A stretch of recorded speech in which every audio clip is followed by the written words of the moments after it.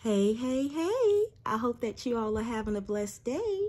I missed you guys. So happy to see you all. Um, well, to be speaking to you all. I can't see y'all. Sorry. so, um, the first thing that came to me, um, I was uh, in the word today and the Lord had led me to Exodus chapter 5 and 6. And this word is really, really speaking to a lot of things that a lot of us is going through today. So I just pray that it reaches whoever it needs to reach. And I pray that it changes your mindset on today. In the name of Jesus, I pray. Amen. All right. So lately, it's been like, you know, there's a lot of talk about what God is going to do, but nothing is being done. You know, um, that's how a lot of us feel today. Just like when God sent Moses and Aaron to Israel, they were sent to give hope unto the people and to warn Pharaoh of what was to come if he did not turn from his wicked ways and allow Israel to do what God wanted them to do in that time.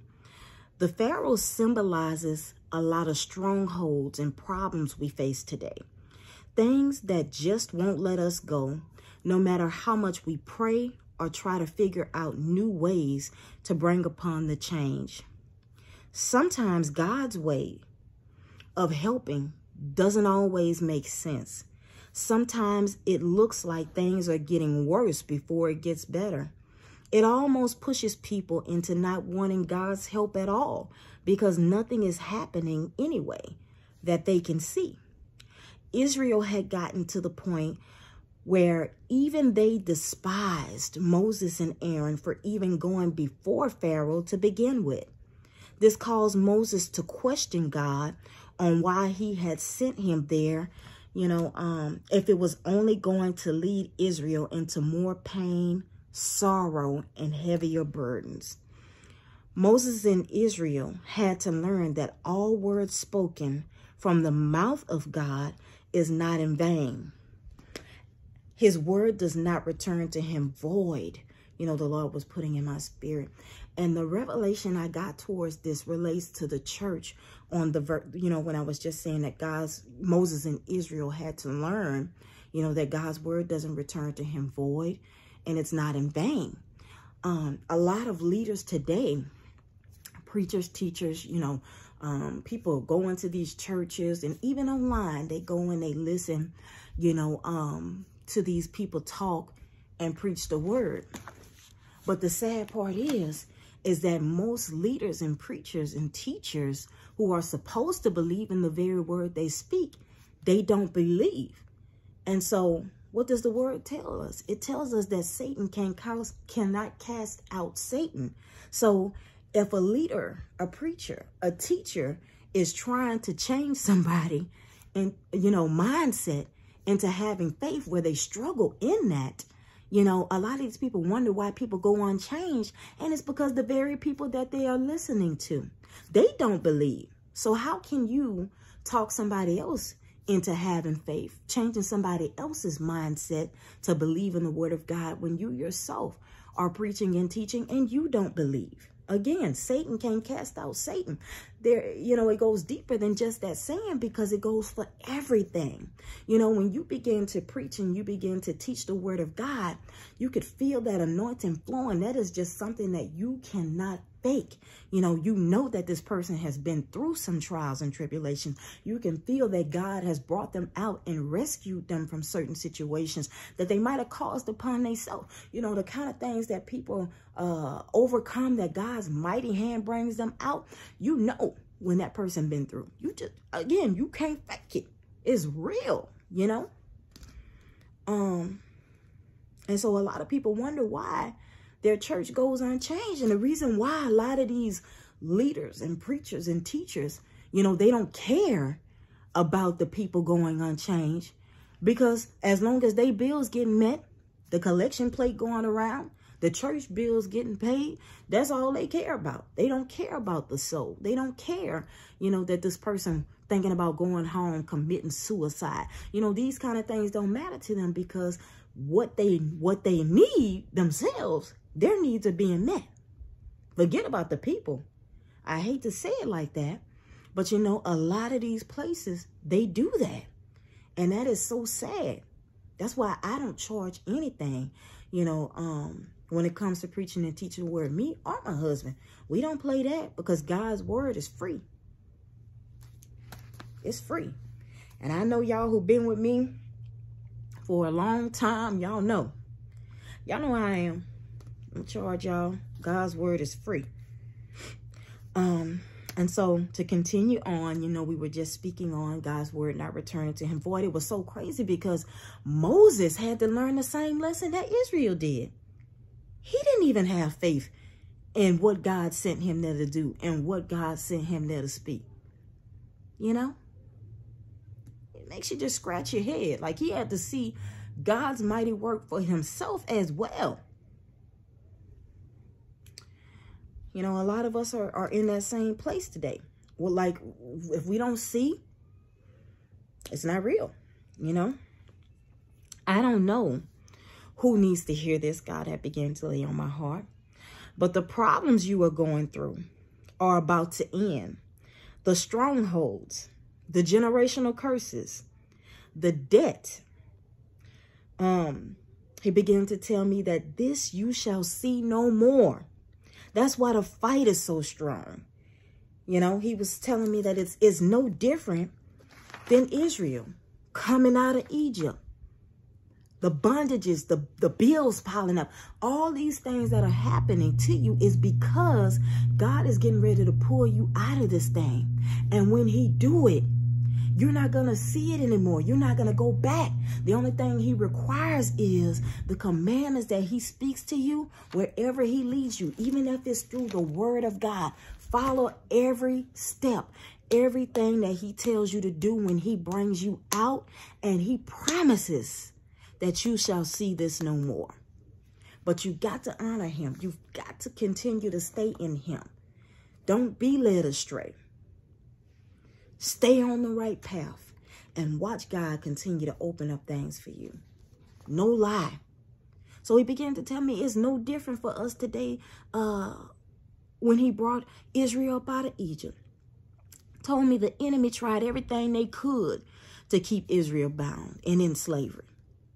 When God came through for Israel, he left no table unturned he made it to where the Pharaoh and his minions would never bother Israel no more.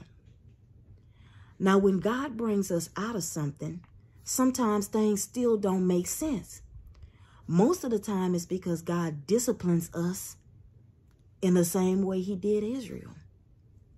Just like while Israel was in the wilderness, Israel thought it would have been better. They said this from their mouths. It would have been better if they had never came out of Egypt. They felt like God led them out to starve and die in the wilderness. The same mindset Israel had then, many of us have today. We want to return to what feels comfortable, what felt comfortable to us because we already knew what to expect. Most of us today are living in survival skills. We have taught ourselves how to survive from week to week. Most of us live from paycheck to paycheck. And here God is calling us to greater.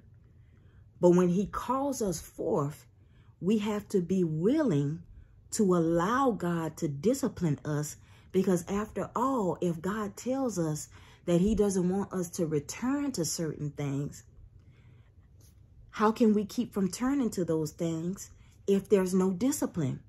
Because if you don't receive discipline from God and allow God to educate you on the things that put you in that situation to begin with and to teach you strategies of how not to return to that, how can you truly, truly not return to familiarity? You know?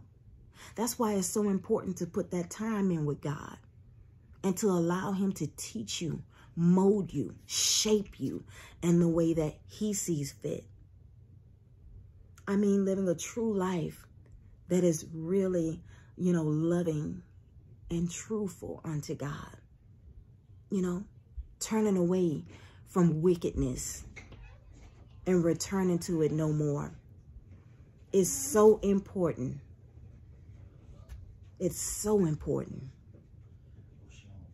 It's so important not to return to those ways. Sometimes it could seem hard. The paths God causes us to take is not always easy. But if you continue on, I promise it does get better. A lot of us, things don't work out, you know, how we expect it to is because we don't have faith. I've been in certain situations where I know I ain't had the money. Even today, I'm just keeping it real. I've been in situations where I know I did not have the money. If it was not for my faith in God, I wouldn't have made it.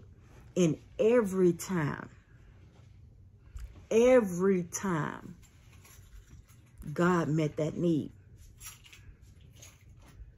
Sometimes there are certain doors. Sometimes uh, when I say certain doors, you know, we may ask God for something and then sit there and wait for God to pour it on our laps.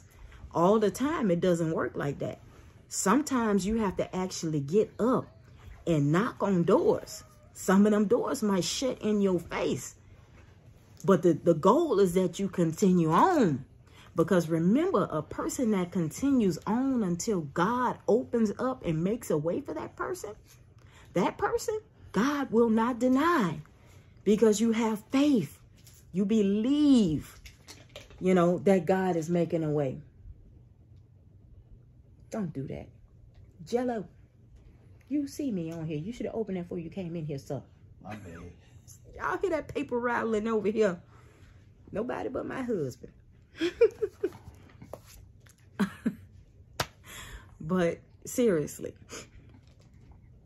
you know, when you have faith and you are determined, can't nothing stop you. But you have to believe, believe, believe that that which you are asking God for can be done. If you don't believe, don't knock on that door because it ain't going to happen. All right, you all. So that's everything that uh, God has given me today. My birthday is tomorrow. Yippee. Baby, you had anything you want to say? You eating jello. The word of God say, I just got the last part. The word of God say that faith without work is dead. And I think that that plays a big part with faith, you know, and uh Paul also was telling the Hebrews in 11 chapter 1, faith faith is the substance of things hoped for, the evidence of things not seen. Uh, I could elaborate what what she was saying is you know saying many times that we don't have money and God will still make a way. Know that He will still meet our needs. Know know that a lot of people like to tell know what they have, know that know that you know I mean like what they went through and no, no, but they don't tell you, know that when know that when you're going through things, because right now things is hard right now. Things are very hard, no, they're very difficult, you know, and it gonna take us really believing in God, trusting in God, in His Word, and that's all I want to say, brother, baby. Mhm. Again, tomorrow is my is my sweetie pie birthday. All right, you all. Till next time, we love you guys and happy to be back. See y'all.